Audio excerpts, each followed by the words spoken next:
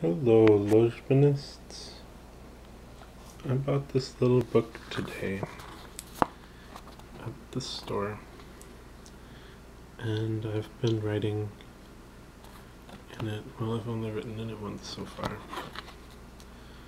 but you can see it says Sivni Pensi. Sivni means private or personal, and Pensi means thinker, to think. And I'm just going to use this to write my thoughts, a little journal, a diary. I think that's a really good way to study Lojban because um I mean you know you gotta if you're gonna learn Lojban to speak Lojban well you gotta spend